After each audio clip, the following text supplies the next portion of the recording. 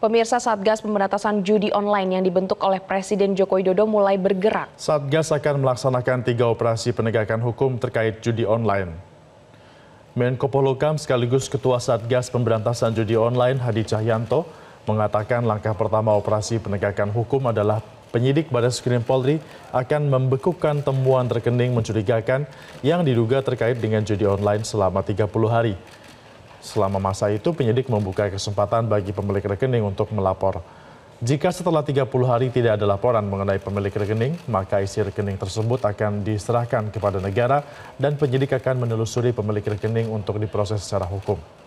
Langkah kedua, pemerintah akan menindak jual beli rekening yang menyasar warga desa.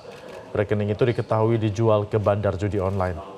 Pemerintah juga akan menindak minimarket yang melayani top-up game online yang terafiliasi dengan judi online. Tiga operasi tersebut akan dilakukan minggu ini hingga minggu depan dengan target minggu depan tren judi online bisa menurun di Indonesia. Kita akan melaksanakan tiga operasi, ya, tiga penegakan hukum yang harus segera diselesaikan.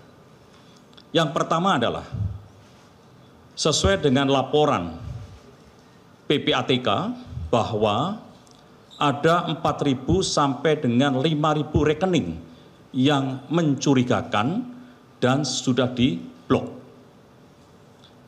Tindak lanjutnya adalah PPATK segera melaporkan ke penyidik Baris Krim Polri Jelajahi cara baru mendapatkan informasi. Download Metro TV Extend sekarang.